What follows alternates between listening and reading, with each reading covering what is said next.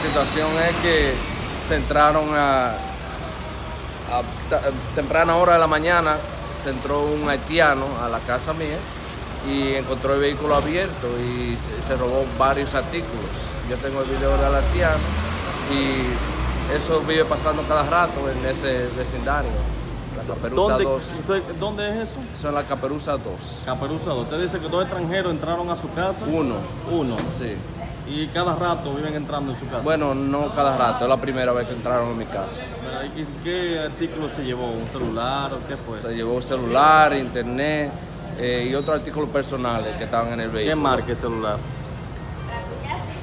Eh, además del celular, ¿Qué marca es el o el celular? marco eh, iPhone, un iPhone 10, algo así. Un iPhone 10 se llevó ese extranjero. Sí. Y no, no localiza, no tiene, tiene datos de dónde, más o menos dónde está el celular y, eso. No, no tengo datos. No sabe. ¿Eso fue cuándo? Eso fue del viernes a sábado, en la madrugada, a las 4 de la madrugada. Quiere decir que en otra vez se ha penetrado en otros lugares.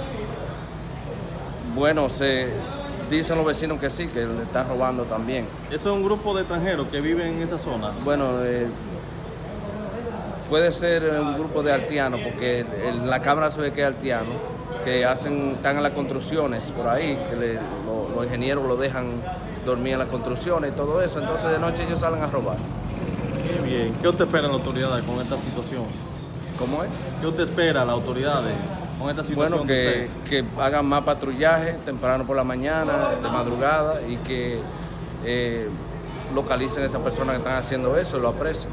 Ok, ¿su nombre es? Leonardo, Leonardo, ¿dónde está, ¿Dónde sucedió este hecho? Caperuza 2. Ok, gracias.